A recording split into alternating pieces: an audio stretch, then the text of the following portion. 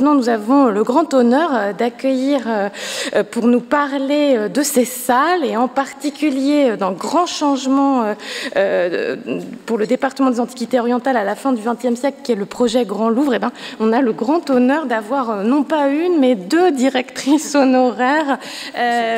C'est d'abord Annie Cobet, Annie Cobet qui est conservateur général du patrimoine émérite et qui a dirigé le département des Antiquités orientales pendant euh, près de 20 ans euh, et qui a déjà été euh, largement cité, de même d'ailleurs que Marielle Pic, qui nous a quittés au sens professionnel il y a très peu, mais comme vous le voyez, elles nous font le plaisir de revenir. Et donc, voici nos, nos deux conservatrices générales émérites et directrices du département qui vont vous parler de ce très très grand moment qui n'aurait pas eu lieu sans elles, en fait. Merci.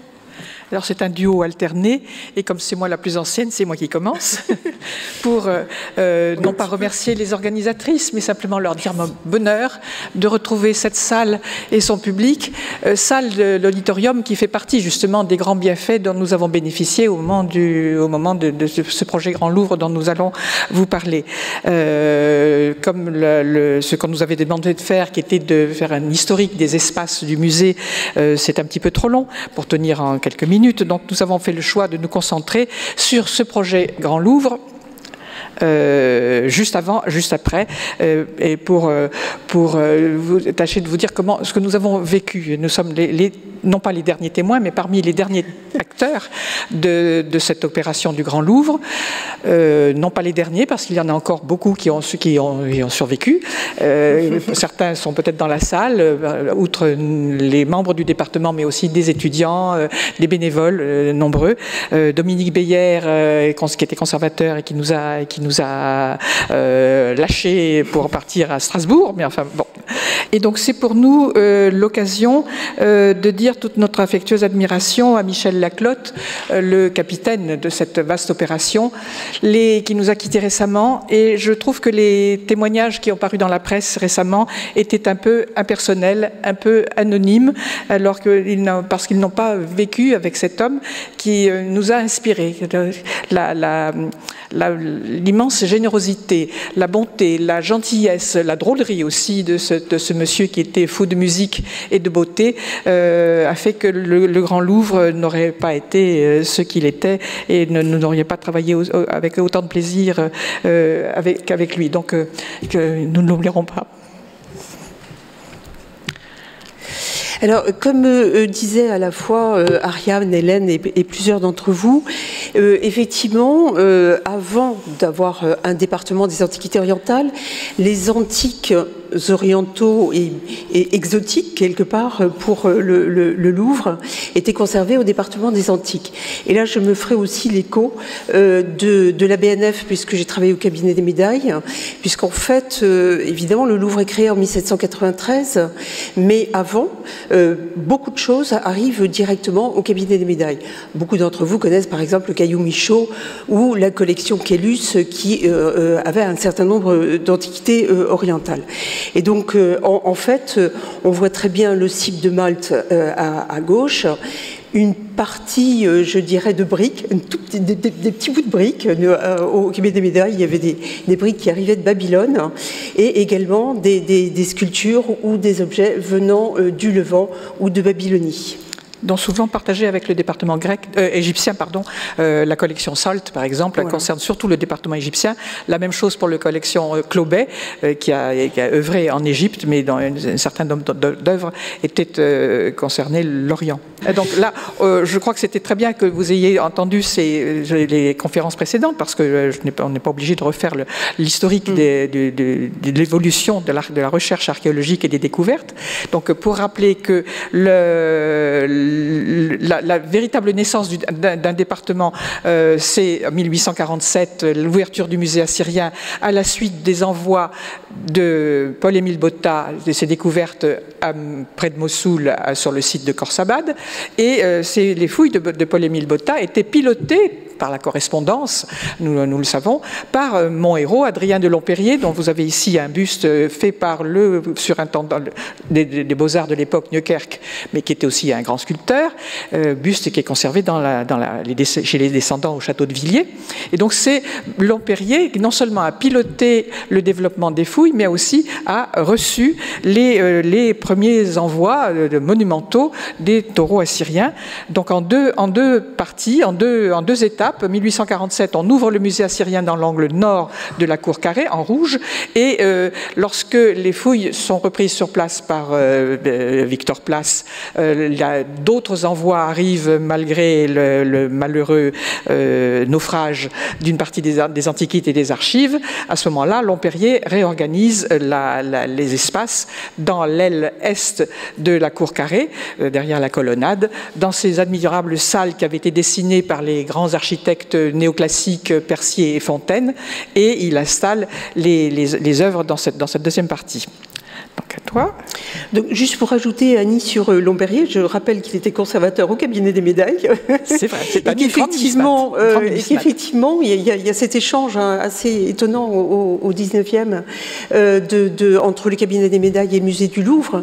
Et également, je confirme ce que disait Julien, il y a des échanges de courriers entre Jules Moll et Botta, et Botta. En, en, se posant la question quand même, est-ce qu'on ne mettrait pas les taureaux au, au, à la Bibliothèque royale, hein, c'est-à-dire euh, effectivement à Richelieu? Vous imaginez les taureaux à Richelieu, euh, c'est ça qui a provoqué en fait euh, euh, la possibilité de le faire au Louvre, parce que c'était impossible de le faire.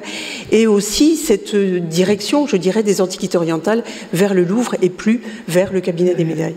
C'était des, des, esprits encyclopédiques, c'est-à-dire que la, ouais. la, la, la, somme de connaissances de ces gens était étonnante. Alors effectivement, là je ne vais pas revenir complètement sur ce qu'a dit euh, euh, longuement Julien Cuny, mais effectivement euh, les, les, collections arrivent des grandes expéditions d'Orient. Euh, on a parlé de De Sarzec qui, muséographiquement, va provoquer, euh, je dirais, quelque chose d'important euh, au, au, niveau du département, puisque l'arrivée des, statues de Goudéa fait évidemment une, révolution, dont la création du département. Suse, avec belles, les très belles peintures de Bondou, puisque Suse, effectivement, comme on l'a dit, a apporté un grand euh, euh, lot de, de, de collections. Et euh, Annie voulait parler du, du vase d'amatante parce que nous n'avons pas parlé aussi de notre autre grand démon. Euh, je dis démon dans le sens où tout ça euh, a, généré des petits objets bien sûr, mais surtout des grands, grands objets qui étaient compliqués à déplacer. et on a encore le problème avec le vase d'amatante actuellement. Et également le sarcophage d'Ashmonazor qui arrive donc en 1855 ou 56 euh, et qui inspirera euh, effectivement les, euh, les missions d'Ernest Renan euh, au Levant. Donc, à partir de 1881, effectivement, c'est l'anniversaire que nous souhaitons. Les collections se sont centuplées à peu près. Donc, on l'a vu sur le magnifique graphique qu'a qu montré Nicolas Benoît. Et donc, le département s'installe au premier étage, enfin garde les salles du rez-de-chaussée dans l'est de la cour carrée, puis monte à l'étage euh, pour installer, euh, d'ailleurs ils étaient courageux, les, les grands reliefs de briques, ils les ont, elles étaient démontables, ils les, ont, ils les ont montés brique par brique, ils les ont montés brique par brique pour les faire, euh, les installer au premier étage sur la, sur la, la, la colonnade, et l'inauguration par le président de la République euh, comportait toutes sortes de gens importants, dont je vous montre là, c'est amusant, la Ernest Ernest Renan euh, qui apparaît sur cette, gravure.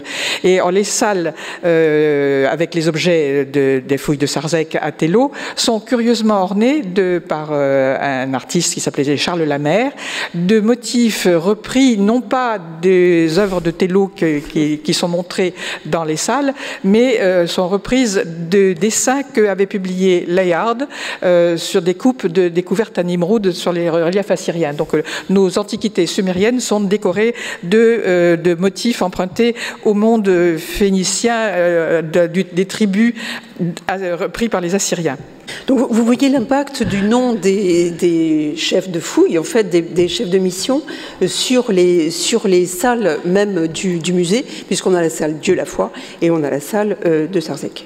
Et en fait, la, distribution entre, je dirais, le bas et le haut, c'est vraiment une question de petits objets fragiles. C'est-à-dire qu'on avait pris conscience quand même à cette époque-là que les bronzes au niveau du rez-de-chaussée risquaient de s'abîmer. Donc souvent, c'était une manière de, les répartir et de mettre euh, au-dessus les euh, petits objets. Alors là, euh, on voit ce qu'on a expliqué tout à l'heure, donc le, mélange en, quelque sorte de, des différentes collections arrivées du Proche-Orient, puisqu'on voit bien sûr avec la, photo Albert Kahn, on voit la salle assyrienne, on voit d'ailleurs, petit détail muséographique, vous savez, à la fin du 19e et début du 20e, on mettait beaucoup de rouge comme, comme peinture sur les murs, un rouge qu'on pourrait qualifier de pompéien, mais on voit très bien qu'il y a euh, donc euh, les, euh, les, les Goudéas, qui n'est pas du tout, du tout de la même époque que les Assyriens. On voit aussi, je ne sais pas où est la flèche là peut-être vous voyez euh, voilà, l'arrière du, code d'Amourabi, la statue d'ailleurs de Napirazou euh, ici. Donc en fait, au niveau de la visite des, euh, des, curieux, je dirais, ça devait être un petit peu compliqué d'arriver à se situer dans le temps et dans l'espace. Oui, alors notez sur la photo Albert Kahn, la, salle est d'une seule venue. Vous allez voir tout à l'heure qu'il y a une, avec le, plan Verne, il va y avoir une trémie installée. Donc je vous montre ça sur la photo suivante. Voilà, avec, euh, avec euh, il n'y a donc pas de grands changements jusqu'à la Première Guerre, et c'est y compris jusqu'à la Première Guerre dans la disposition des espaces. Les objets lourds, encombrants sont avec les Assyriens, les, les grandes sculptures de Mésopotamie et de Suse sont au rez-de-chaussée et au premier étage les, objets plus légers. Euh, et donc c'est avec le plan Verne, euh, décret du 7 novembre 1929, que se réalise progressivement euh, le Louvre que nous avons connu et qui commence par l'installation des cryptes qui permettent aux, visiteurs de faire tout le tour en rez-de-chaussée du, du rez-de-chaussée de la cour carrée, alors que jusqu'à ce, jusqu'à ce, creusement de ces, cryptes, le visiteur sortait au rez-de-chaussée, euh, on sortait, la, porte Sully, on portait l'appartement Ringo, etc. On sortait puis on rentrait, donc multiplication des espaces, plus euh, aussi accès euh, par, escalier. Donc le creusement des, des cryptes, j'ai mis les quatre de la cour carrée sur cette photo, a permis la création d'un circuit continu au rez-de-chaussée dont a profité le département pour se redéployer sur la, toute la moitié nord de la cour carrée en rez-de-chaussée avec trois, trois cryptes, la crypte Sully, la, la crypte nord et la crypte, euh, la crypte, et la crypte est. Alors en fait, pas totalement, si je puis dire, Annie, puisqu'en fait, euh, vous imaginez plan Verne 1929-1930, ça a pris du temps, évidemment, et en plus, il y a eu la guerre. Donc, en fait, c'est en 1934 qu'on peut creuser la crypte Marengo, que beaucoup d'entre nous ont connue, hein, parce que sinon, on fait vraiment les, anciennes. Et en fait, il y avait la crypte Sully qui a en fait été creusée après la guerre. Là, c'est un plan euh, qui a été retrouvé aux, Archives nationales, qui montre quand même assez bien euh, euh, cette crypte Sully dans laquelle il était exposé les judaïques. Et Annie a souligné euh, par cette photo aussi qu'il y avait également les, plâtres de... de Mousse. Pardon De mousse oui, oui, tout à fait. Donc, des, euh, du coup, j'ai perdu ma. en, fait, il y, avait aussi bien le, sarcophage de la reine Sadane que euh, les, plâtres donc, des, euh, des tombeaux de, Jérusalem. Donc, vous allez voir, je, je reprendrai tout à l'heure la crypte Sully. Annie, tu continues? Je continue avec euh, alors la crypte Marengo, euh, bah, elle existe toujours la crypte Marengo. Euh, simplement, on, a, on, a, modifié ses accès, mais elle, est toujours là. Et donc, elle a été ouverte dès 1934 pour accueillir un petit frétomisto. Naturellement, les grands sarcophages, qui, sont, qui sont toujours, ils ont été modifiés. Le mitréum de Sidon qui était abrité là, et puis Carthage. Donc, les, donc ça permettait, on, on arrive des salles iraniennes, on descendait dans la Phénicie et le, monde de Carthage et on remontait pour retrouver les salles de Chypre. toi Oui. Voilà. Donc, en, fait, donc là, on revient vers le plan de 1947 que beaucoup d'entre nous ont, connu, en fait, et c'est comme ça que ça nous a été, enfin, quand on a, on a commencé, c'était ça que nous avions vu. Alors, un, des problèmes, et qui continue à être le problème pour le département, c'est les entrées multiples du département, et, à chaque fois, en fait, par une crypte. Euh, donc, normalement, on commençait la visite du département par la crypte judaïque, la crypte Sully, pardon, réservée aux judaïcas. Ensuite, de 1 à 4, nous avions euh, la Mésopotamie mais qui Mésopotamie, encore une fois, à cause aussi euh, des difficultés à transporter les taureaux assyriens, est partagée en deux, puisque nous avons les Assyriens de l'autre côté euh, du, du département. L'Iran, finalement, n'a pas tellement bougé à partir du moment où 1934, il y a eu l'inauguration, enfin, l'ouverture de la crypte Marengo. Finalement, l'Iran n'a pas trop trop bougé euh, depuis. Euh, et au-dessus, donc comme le disait Annie, en sortant de la crypte Marengo, nous avions Carthage, Ougarit et Chypre. Et en fait, je dirais que dans le Grand Louvre, c'est plutôt le Levant qui du coup a été partagé en deux. Euh, voilà, c'est compliqué avec nos collections qui, qui, ont des poids lourds à chaque fois, puisque la dernière salle de Chypre est celle du, du vase d'Amatonte, donc difficile à, déplacer. On l'a fait, on l'a fait riper de 2 mètres pour qu'il ne soit pas au milieu. Oui, C'est tout ce qu'on a pu faire. Euh, et donc là, vous voyez que sur ce plan, à partir, avec le plan Verne, en effet étalé sur une assez longue durée, euh, les collections du premier étage de la cour carrée sont descendues. Mm-hmm. Et donc la Mésopotamie est lourde, euh, elle ouest, et, et l'Iran, on a remis tout l'Iran, tout l'Iran ensemble. Mm. D'ailleurs, euh, euh, Hélène a, publié quelque chose dans, dans Grande Galerie où elle montre, euh, alors c'est assez spectaculaire comme photo, le déménagement du, chapiteau donc de Suse. et Hélène, je ne sais pas si tu sais quelle date c'est, mais de toute façon, à mon avis, c'est après 1934, puisque le guide de, de, Marguerite Rutten est de 1934, elle le situe encore là-haut. Donc c'est de toute façon au moment où on peut avoir les salles iraniennes. Alors, très vite. Les... Alors, un petit parcours de ce musée que nous avons connu, euh, donc avec les, salles ouest euh, que l'on appelle la, galerie d'Angoulême, avec euh, qui était très avec par ordre chronologique. Et dès ce moment-là, on a décidé que l'ordre chronologique de la Mésopotamie inclurait le butin mésopotamien de c'est-à-dire la stèle de Naramsin, puis la, la, la, la, le code de Hammurabi euh, ont été émis pour des raisons d'ordre chronologique dans la Mésopotamie. Donc euh, voici euh, les salles de Télo, en haut à droite Marie, le code du Hammurabi, et, aussi les, les. Les Koudourous viennent tous, les Koudourous cassites mésopotamiens de Babylonie, dans nos collections, viennent tous des fouilles de Suse, viennent tous du, butin, mésopotamien de Suse.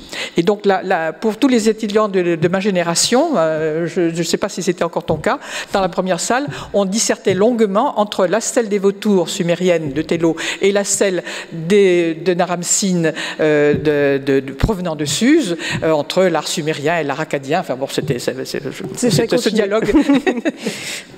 Alors, quand on continuait euh, en tournant, si vous voulez, dans l'aile nord de la cour carrée, on trouvait les, salles iraniennes dans lesquelles on avait mis sur tous les murs tout ce qui était euh, grand relief de briques d'époque perse, et puis au centre de la salle, les vitrines avec du petit matériel qui allait du 4e millénaire, 3e millénaire, 2e millénaire jusqu'à l'époque perse. Donc, euh, un circuit qui était à peu près chronologique pour les petits objets, mais pour l'art monumental, le palais perse de Darius était dispersé sur ventilé sur l'ensemble des, des salles, avec au centre notre unique vitrine euh, à l'arme, euh, etc., dans lesquelles on a mis tout l'ordre du département, euh, toute période et, provenance confondues. Bon.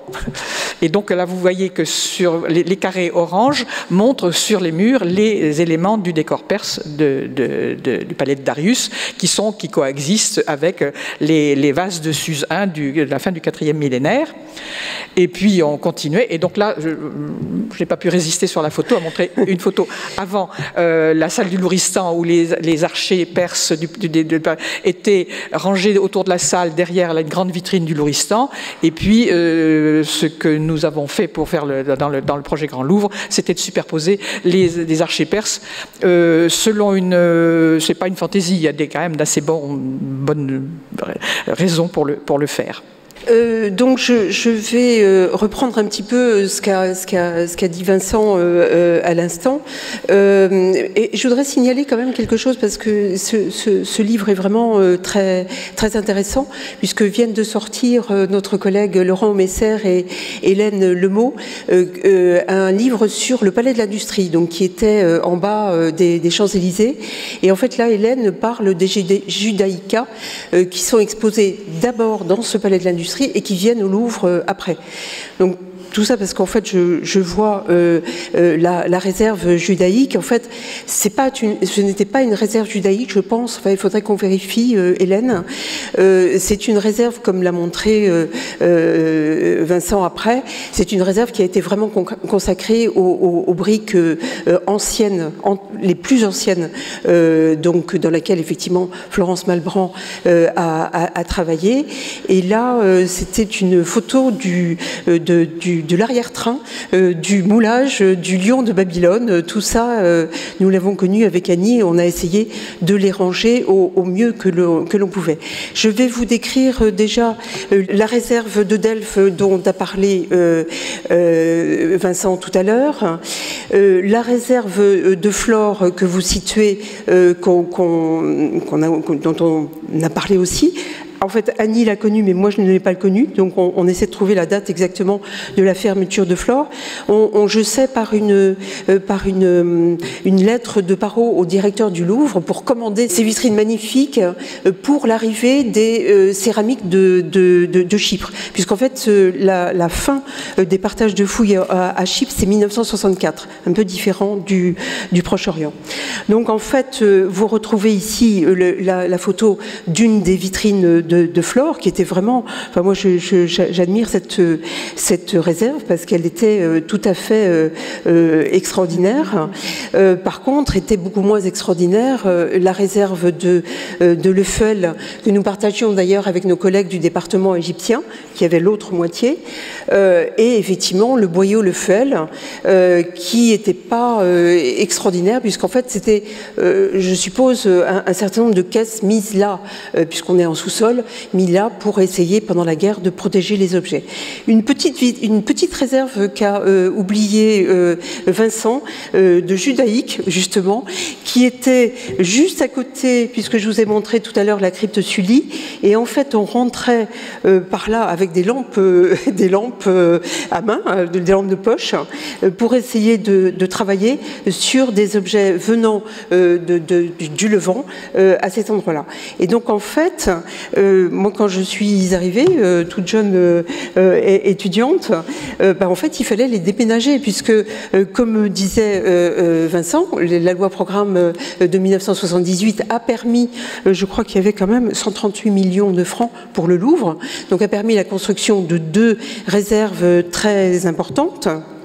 Voilà, on les, voit euh, là en bas. Là, c'est la réserve du département égyptien et là, c'est la nôtre. Ils ont fait, puisqu'en fait, pour arriver à transférer de tous ces endroits dans le Louvre, euh, il nous fallait quand même un accès. Et à cette époque-là, il n'y avait pas d'ascenseur. Donc il y avait juste ce mont de charge qui était là, qui nous permettait d'entrer dans la réserve euh, du département des Antiquités orientales, mais ça n'existait pas. Donc pendant très longtemps, on est, arrivé par le haut de, la réserve. Donc en fait, grosso modo, ces deux plans, euh, la loi de 78 et le Grand Louvre après, se sont euh, bien croisés pour arriver à utiliser ces réserves d'une manière très, très, très pratique et vraiment au centre au centre du musée, euh, puisque là, c'est vrai que on a déménagé, on a fait un énorme travail effectivement de déménagement, mais c'est vrai que c'était quand même très très pratique quand c'était juste à, à, porter de la main pour pouvoir comparer les choses qui étaient dans les salles et les choses qui étaient dans la réserve. Et donc maintenant, c'est à Liévin. C'est encore à toi. encore à moi? Ah oui, bien sûr. J'allais quand même pas oublier Béatrice et Monsieur Amier, puisqu'en fait, ce qui n'existe plus du tout maintenant, les réserves de, euh, de, de, texte euh, et les réserves de glyptique étaient dans les deux bureaux de nos deux chers conservateurs. Excusez-nous pour euh, François Thureau d'Angin, c'est évidemment. Non, non, non, c'est Jean Thureau Et puis, non, non, et il y aura Jean Nouguerol par la suite. Nouguerol, que j'ai connu. Que j'ai connu. de 1960 à, à, 1900, de 1947 à 1960. Et donc, en fait, Béatrice avait, et c'est pour ça, même si la photo est un petit peu floue, on l'a montré dans son bureau précédent, nos bureaux étaient porte des arts, et elle avait dans son bureau euh, presque euh, toutes les tablettes cunéiformes. Et M. Amier, vous connaissez son attachement euh, à la glyptique, avait dans son bureau toute la glyptique dans ses armoires en bois qu'on vous a déjà donc c'est dans ces conditions, euh, sans informatique, avec un personnel euh, scientifique maximum de 5 personnes, mais de, nombreux étudiants qui nous ont assistés pendant toute notre carrière, que nous avons commencé euh, le fichier qu'on appelait fichier matière avec photos systématiques des œuvres, qui a servi de base à l'informatisation des collections. Et ce mode de travail, nous le devons au modèle de notre, nos collègues du département égyptien, Jean-Louis de Sénival, qui est vraiment le au cœur et à la, naissance de, l'informatisation des collections, qui pour le département a pris la forme de la base Chamash euh, dans les années 80, euh, qui était d'abord placée sous l'autorité du ministère de la Culture. Je rappelle par exemple que le premier euh, budget photo que j'ai obtenu, parce qu'il n'y en avait pas, obtenu était de, l'équivalent de 200, euros annuels, de 200 euros actuels, pour faire les prises de vue nous-mêmes, qui étaient développées par le troisième des frères Chusville, Roger. Il n'y a longtemps pas eu de budget euh, pour les photos professionnelles qui étaient faites par Maurice et Pierre Chusville, euh, qui ne faisaient de photos, enfin nous ne leur demandions de faire des photos que lorsque c'était demandé par des, savants extérieurs à qui on faisait payer la prise de vue et on gardait le négatif et un tirage. donc voilà comment, voilà comment ça s'est fait. donc le fichier matière, le, voilà. qui, a servi le fichier matière à, tous les architectes du Grand Louvre. Hein. Rien n'était numérisé. Euh, du tout. On a eu des ordinateurs euh, dans, les années 95. À coup de, photocopieur. Donc là, c'est. Donc là, en fait, on a quand même réussi à faire plein de choses, euh, puisqu'en fait, je voulais absolument citer l'exposition de Parot sur Marie, qui était donc dans la chapelle, donc dans le Sully. dans le pavillon Sully. et on a aussi beaucoup travaillé avec nos, le, Grand Palais, le, Petit Palais. Le Grand Palais, ça me permet de, de, de rendre hommage aussi à Béatrice et Christiane Ziegler euh, qui avaient fait cette exposition sur la naissance de l'écriture. Et j'ai commencé comme ça euh, au département. Exposition sur euh, l'Irak, exposition sur la Syrie. Et puis il y avait une chose qui nous avait beaucoup intéressé avec Annie et Dominique Beyer, c'était le désir de Michel Laclotte, encore une fois, de créer un, musée d'art et d'essai qui était au Palais de Tokyo. Donc certains ont sans doute connu cet espace. On pouvait avoir des petits et ça nous a permis, euh, avec Dominique et Annie, de présenter le dernier partage de fouilles avec la Syrie, donc qui était sur le site de Emar, Meskené, et nous avons présenté tout de suite aux, visiteurs la collection qui arrivait en 1982 au, Palais de Tokyo. Et puis, bien sûr, on travaillait avec nos, collègues de l'Institut Monde Arabe sur euh, l'Arabie et également en région et aussi euh, évidemment avec le Metropolitan Museum avec lequel on a toujours euh, d'excellents rapports. Le fichier matière débouchait sur des catalogues raisonnés que nous avions classés par grande culture, parce que le catalogue raisonné de l'ancienne, la comptabilité du département, c'était impossible. Donc confier soit à des collègues du département, soit à des savants extérieurs en collaboration avec des membres du département. la couverture photographique et, archéologique du département étant loin d'être complète, nous avons quand même pu faire des petits, des petits éclairages comme ça, un peu de tout, le bestiaire de, de, Cappadoce. nous sommes très fiers d'avoir réussi à faire mécéner par Elf Aquitaine le catalogue des bitumes de Suse. Très, très bien. Euh, et, tout, cela ne nous a pas rendu très populaires auprès de la Réunion des musées nationaux qui était chargée de commercialiser nos productions. Ça se vendait en 50 exemplaires, dont 45 à moi, par exemple. Euh, donc c'est pas très bon. Euh, c'est pas glorieux, mais enfin, ça, ça, existait et ça a été fait dans ces, dans ces conditions. Et alors, pour mémoire. on en arrive quand même. Enfin. Euh, et alors le Grand Louvre. Le Grand Louvre. Donc, pour mémoire, le, projet Grand Louvre fut un des grands chantiers du président Mitterrand après son élection en 1981, euh, qui comportait d'autres grands projets du genre le Grand Arche, l'Opéra Bastille, la BNF euh, à Tolbiac, etc.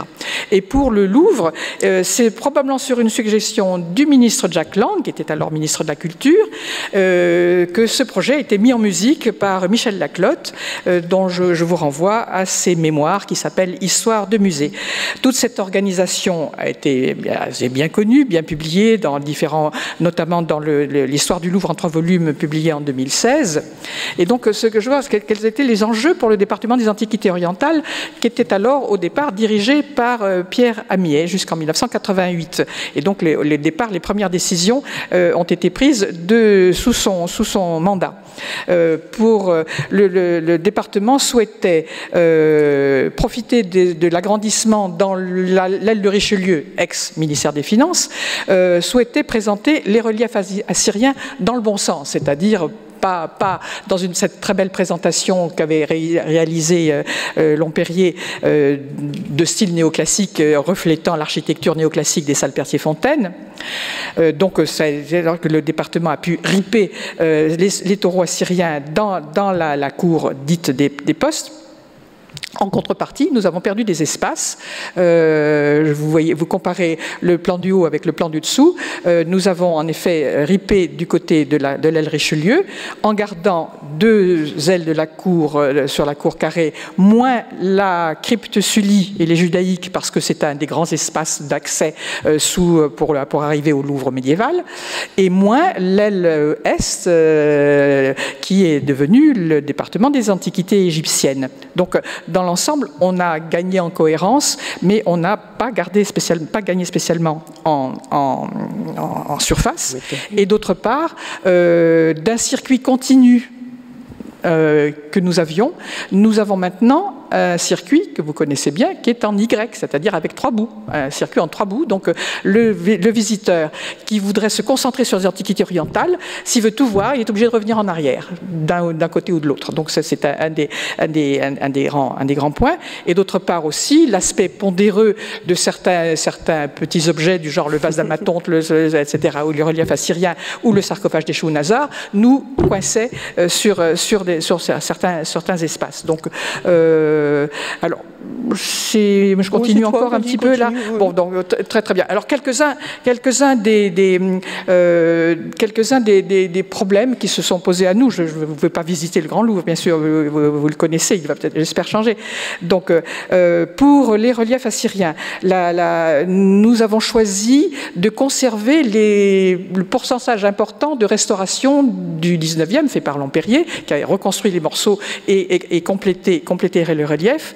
Et cette, euh, euh, opération a été confiée à Michel Bourbon pour la dépose et la, repose. Euh, aussi, dans la cour dite des postes devenue cour Corsabad, l'espace n'était pas tout à fait suffisant, donc nous avons eu l'idée de créer une structure moderne au milieu. On rêvait de faire un effet ruine comme sur les dessins de Flandin, avec de l'herbe en haut. Ce n'était pas possible, donc on a fait un, un, élément extrêmement moderne. dont au départ, l'idée aussi était de pouvoir accéder par des petits couloirs à l'arrière des, reliefs de pierre, parce que les reliefs au, dos au dos sont couverts d'inscriptions et d'indications de, de, montage remontant à l'époque assyrienne. nous souhaitions aussi euh, présenter le taureau, enfin, il a été possible de présenter un moulage du taureau de, de, la, de, la, de, la, de, la, salle du trône et qui, est, qui jouxtait les reliefs des dits euh, Gilgamesh qui sont, qui, sont chez nous. Et donc cette, cette, cette opération a été elle aussi conduite par euh, Michel Bourbon avec le mécénat de, du groupe Lafarge et, euh, et la coopération de l'Oriental Institute de Chicago. En fait, euh, là, on voit très bien le déménagement euh, des, taureaux assyriens, hein, depuis la cour carrée, en passant par la rue de Rivoli et en arrivant euh, à, Richelieu. Ça a été un moment extraordinaire pour nous, puisqu'on est là en tant que témoin aussi, puisqu'en fait, déjà, c'était absolument spectaculaire de voir ces taureaux partir sur un camion à, 38 roues, je crois. Et Monsieur Laclotte, c'était tout à fait son, son esprit, avait invité tous les agents du Louvre avec leur famille à venir voir ce déplacement qui était quand même unique euh, euh, donc, euh, donc c'était une date très précise au mois de mai 1992, je suppose. Oui, 1992, quand, le premier taureau en fin d'après-midi est sorti et a revu pour la première fois la lumière depuis, plus d'un siècle, la lumière naturelle. autre, contrainte aussi, c'est que pour toutes sortes de raisons, Michel Laclotte, l'établissement Grand Louvre, souhaitait que chaque département ouvre sur une pièce majeure, une pièce d'appel, une pièce symbolique. Et euh, pour le département des Antiquités orientales, le choix s'est porté sur la stèle des Vautours, et qui était, euh, que vous trouvez comme, toujours, au débouché de l'escalator, dans la première salle, qui est petite. Or, la stèle des Vautours, c'est de loin pas la, salle, la, pièce la plus, la plus ancienne de, la Mésopotamie. Et donc, on a un petit peu mis au forceps euh, tout le quatrième millénaire, et l'époque d'Uruk, dans cette même salle. Donc là, c'est un petit peu une, une des contraintes qui s'est s'est posé à nous, euh, que je, vous propose. Une autre des contrainte, c'était la nécessité de, de transparence. Euh, vous voyez la salle dite des, Goudéas, euh, dans lesquelles sont, nous avons conservé le choix de mettre par ordre chronologique tout le troisième millénaire, y compris le butin mésopotamien de Suse, c'est-à-dire euh, la, salle, la salle de Naramsin, notamment les, et les monuments de l'époque de Manishtusu et de, et, de, et de Sargon. Et il était nécessaire de conserver des transparences, d'une part, sur la cour Corsabad à droite, à l'est, et puis à gauche sur la cour, c'est Puget, euh, c'est Puget, oui, c'est oui, c'est Puget, sur la cour Puget du département des sculptures. Et je veux dire, nous avons trouvé, collaboré très aimablement avec le département des sculptures que dirigeait alors Jean-René Gabory, qui a fait attention à ne pas mettre, nous, nous avait-il dit gentiment, trop de fesses néoclassiques, des nus euh, héroïques, euh, directement dans l'axe des fenêtres pour une. donc le, le, dialogue des cultures entre le le néoclassicisme français et, Goudéa est, relativement intéressant, mais enfin, c'était une, contrainte. Alors oui, là, là je, ça, je tiens, je tiens à le dire, les crédits de l'établissement public Grand Louvre ne permettaient pas de terminer le département des Antiquités orientales dans son entier.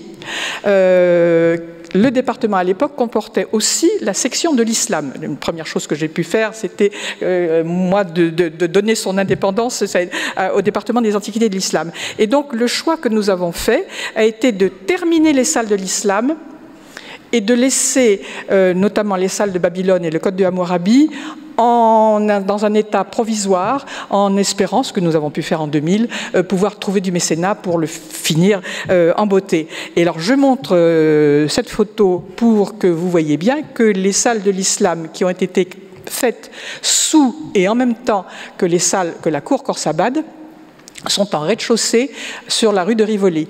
Vous avez le taureau assyrien qui est en train de s'envoler vers son emplacement actuel dans la, cour Corsabad et en dessous vous avez 4 mètres avant d'arriver au, au, trottoir de la, de, la, rue de Rivoli. Et donc là, ces salles de l'islam qui sont maintenant devenues studios, je crois, c'est ça comme, ça comme ça s'appelle, les salles de l'islam ont été admirablement installées par Marthe Bernus-Taylor qui était à l'époque le conservateur de la section islam et Jean-Michel Villemotte qui pas du tout, ils s'entendaient pas, mais ils ont fait quelque chose de très très bien, euh, dans des, salles qui ne sont pas inondables. Alors en fait, exactement comme, comme le disait Annie, c'est-à-dire qu'on a l'impression maintenant que c'est le Grand Louvre qui a tout fait. Euh, non, euh, il y a beaucoup de parties dans le Louvre qui n'ont pas pu être faites euh, à l'époque. Et, en fait, par la suite, il a fallu, Annie, enfin beaucoup de, de, personnes du, Louvre, essayer de trouver des mécénats pour arriver à, finir un certain nombre de, de choses.